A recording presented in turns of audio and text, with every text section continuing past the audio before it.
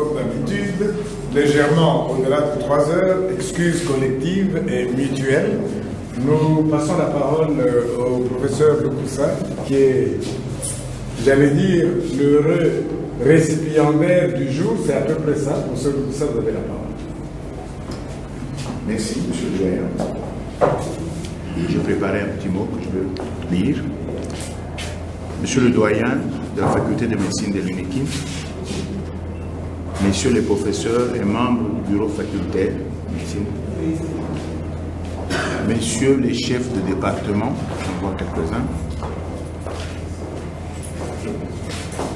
monsieur le chef de service de néonatologie, puisque nous faisons partie de votre service, chers collègues professeurs, chers confrères, distingués invités, mesdames, mesdemoiselles, messieurs, c'est un grand honneur pour moi de m'adresser à vous cet après-midi à l'occasion de l'inauguration du laboratoire de génétique humaine de la faculté de médecine de l'université de Kinshasa. Votre présence ici, un vendredi après-midi, constitue un témoignage éloquent de tout l'intérêt que vous portez à l'amélioration des outils de travail mis à la disposition de nos chercheurs, de nos étudiants et de nos enseignants pour assurer une meilleure formation, un meilleur enseignement et une prise en charge médicale optimale de nos patients. Depuis les analyses de diagnostic jusqu'aux orientations sur le traitement spécifique les plus judicieux. De tout cœur, un grand merci. La génétique médicale est un domaine de la médecine qui a connu ces dernières années une avancée spectaculaire, notamment grâce au progrès exponentiel enregistré dans la simplification de la technologie d'analyse et dans les innombrables possibilités offertes à la médecine par l'exploitation des informations fournies par les analyses des chromosomes et de l'ADN.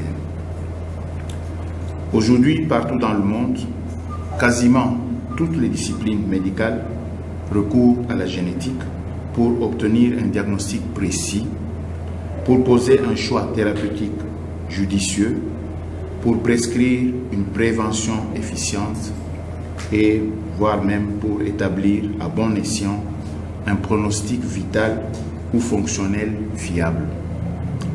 Le Congo ne pouvait pas rester à la traîne et encore à plus juste titre reste. En Afrique centrale, en effet, et plus spécialement en République démocratique du Congo, nos populations sont confrontées à diverses affections héréditaires dont certaines sont particulières à notre contrée et vécues souvent sous un éclairage culturel local comme des calamités culpabilisantes et souvent avilissantes. On peut citer à titre illustratif des entités singulières dans nos contrées, telles que la drépanocytose,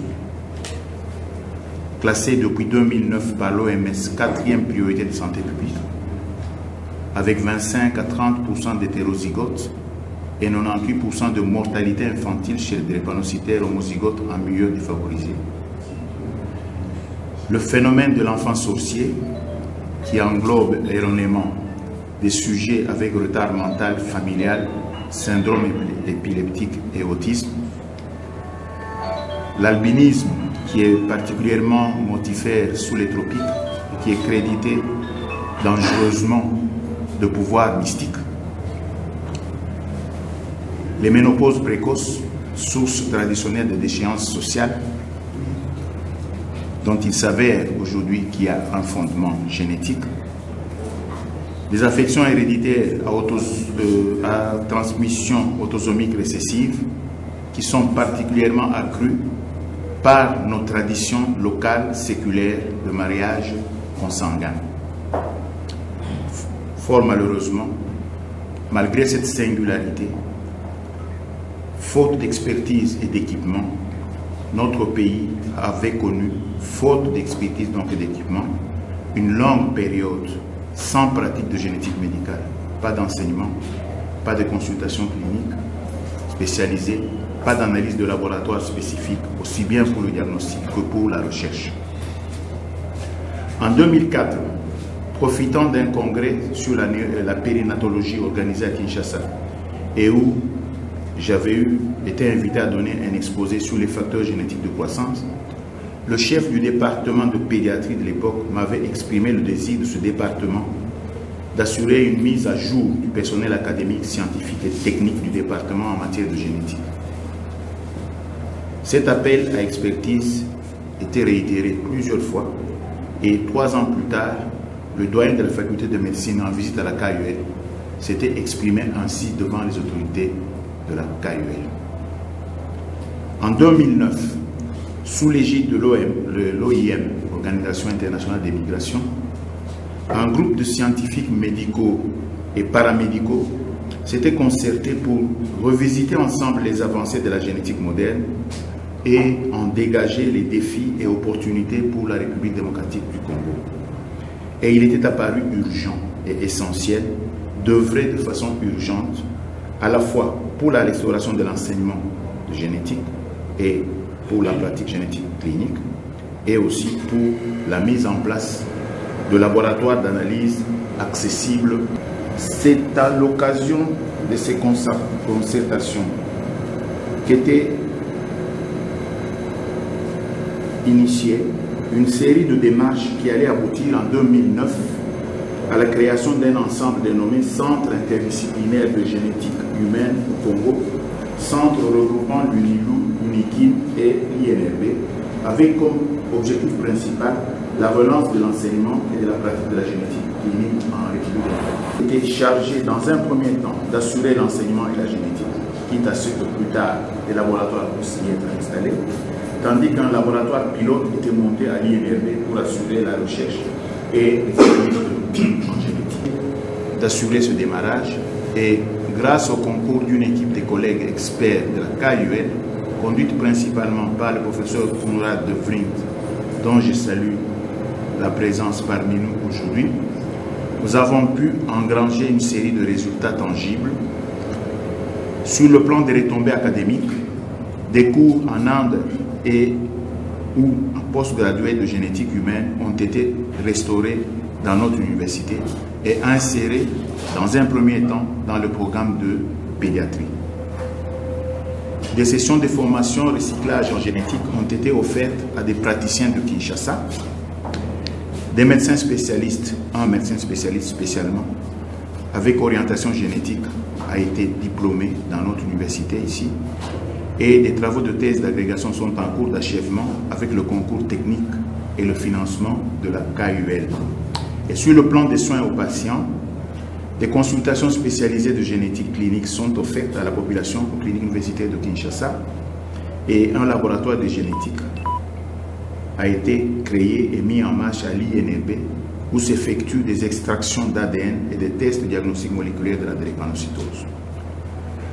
À l'initiative du décanat de la faculté de médecine de Kinshasa, il était décidé au niveau du conseil facultaire de médecine de créer un centre de génétique humaine de l'UNIKIN regroupant une unité de recherche en génétique, fédérant plusieurs spécialités, un service clinique spécialisé et un laboratoire d'analyse génétique.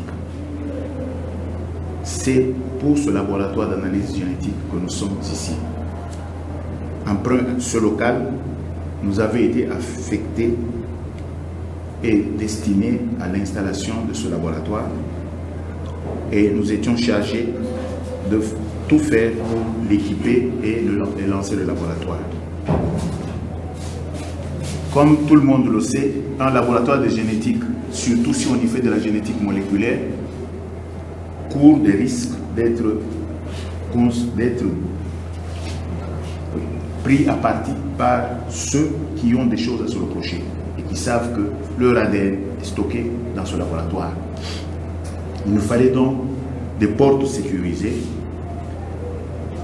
Nous avons pu mettre la porte métallique que vous voyez nous avons pu installer euh, la grille. Il nous fallait assurer une arrivée d'eau, puisque un laboratoire de génétique sans eau, on ne sait plus euh, travailler. des techniciens de la faculté nous ont aidés à restituer cela. On a restauré l'électricité dans la salle. Nous avons pu faire monter des tables et des paillasses. Et tout cela, en fait, de notre, de notre poche, à nos frais. Nous avons fait un lobbying pour obtenir un financement. Un congélateur nous a été offert par une association regroupant tous les pédiatres originaires, en fait, formés à la KUL et à l'UNIKIN et qui œuvrent en, Belgique. Et c'est ce congélateur que vous voyez là-bas. Et on ne peut pas faire de l'ADN sans la possibilité de congeler euh,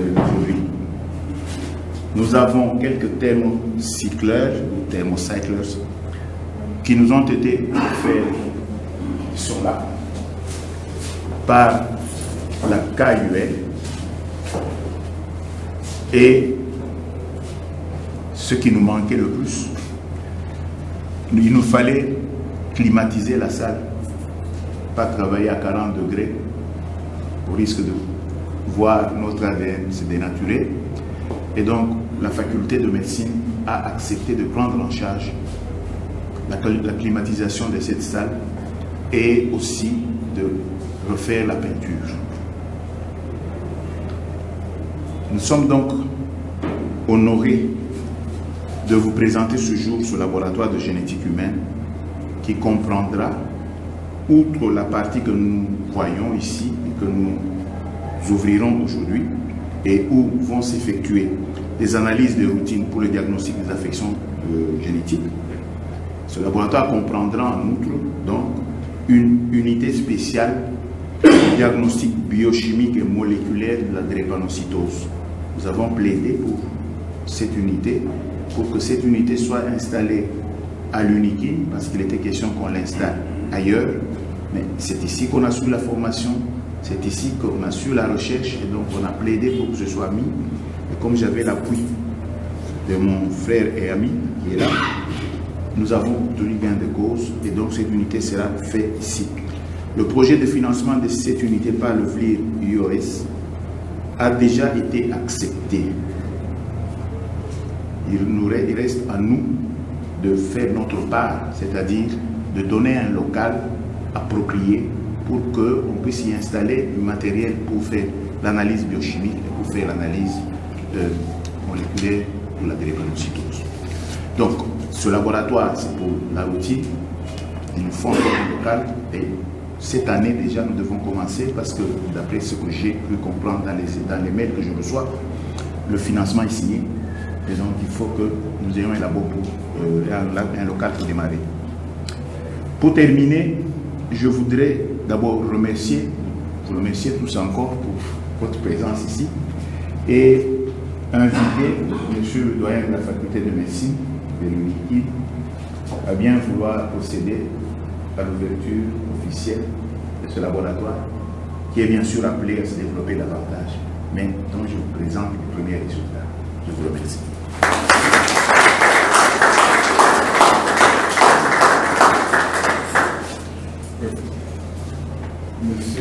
professeur Kuhn, je pense savoir correctement bien prononcer votre nom. Monsieur le chef de département, monsieur le professeur, chef de travaux administratifs, je vais compléter une euh, phraséologie habituelle au Congo, tous à vos titres et qualités respectifs. Je ne sais pas pourquoi on le dit, mais si je ne le dis pas, c'est une faute. La faculté de médecine est particulièrement heureuse d'accueillir ce laboratoire aujourd'hui modeste, mais appelé certainement à grandir, parce que dans ma langue on dit, les petits ruisseaux sont ceux qui confectionnent les grandes rivières. Ce laboratoire de génétique, professeur ça qui montre que nous ne sommes pas trompés lorsque nous avons refait confiance. On n'a jamais perdu cette confiance en ta personne. Formé ici, parti d'ici, c'était pour justement nous apporter ce plus, ce plus en sciences fondamentales. Raison pour laquelle nous ne nous sommes pas trompés en te réaccueillant chez toi. Ce laboratoire de génétique euh, rend certaines personnes moins orphelines. Je vois déjà le professeur Kalala qui trime depuis 40 ans de biochimie sans jamais pouvoir aller au-delà de la simple molécule, sans pénétrer l'ADN, etc. Est-ce qu'ils ne sont pas heureux, nos biologistes moléculaires, à qui il manquait curieusement et de manière dramatique la génétique? Je vois déjà, et la faculté vous promet, vous l'avez dit, le local à côté. Il vous suffira de casser la cage euh, folle qui est là devant pour occuper également celui-là avec cette recherche particulière dans la drépanocytose qui nous préoccupe tant. Nous avons besoin du fondamental si nous voulons qu'on nous respecte dans le concert des nations. Et le meilleur fondamental, il est celui qui passe par le gène, la génétique. Je souhaite donc, au nom de toute la faculté, bienvenue, bonne chance et longue vie à ce laboratoire de génétique moléculaire. Je vous remercie d'avoir répondu à notre invitation.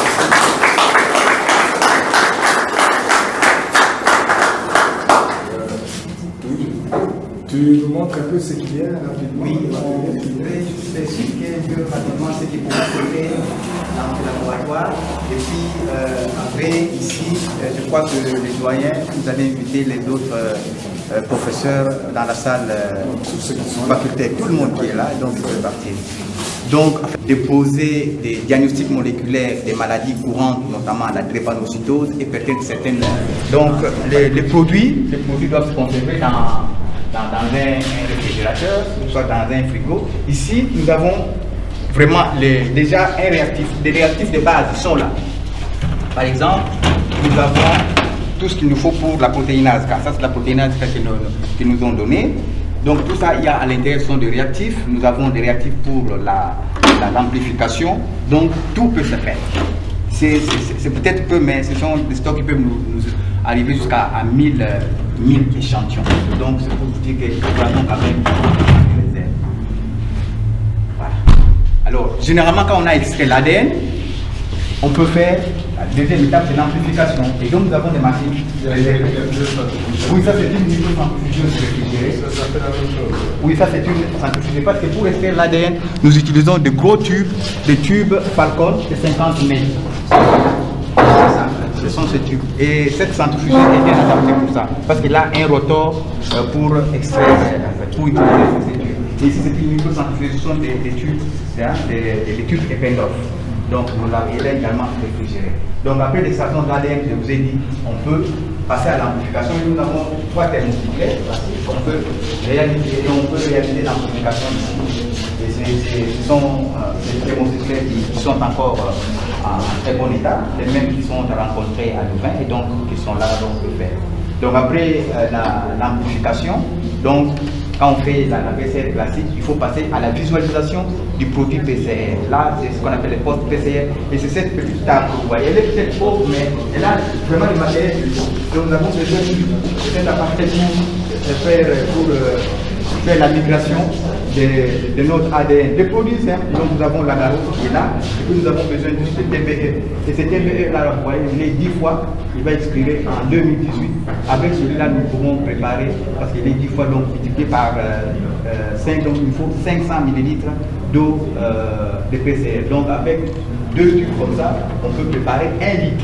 Or, un litre, c'est énorme, parce que pour euh, mettre de l'eau, enfin des, des TBE dans cette cuve, on n'a pas besoin d'un litre. Donc c'est pour vous dire que nous avons suffisamment tout ce qu'il nous faut. Et nous avons, en principe, dans la poste PCR, on utilise le bromure d'étudiant. Le bromure d'étudiant est trop toxique. Alors, euh, Louvain nous, donne les, les gels grès. Le gel grès qui est, qui est moins toxique. Et nous avons deux petits flacons qui peuvent également utiliser plus de 2000 échantillons. Donc, euh, ce petit sachet-là peut nous faire 2000 échantillons. Donc, c'est pour vous dire que ces laboratoires peuvent être déjà euh, opérationnels à partir de lundi. Et donc, euh, voilà, c'est tout ce que je pouvais dire. À vous de jouer pour les scientifiques.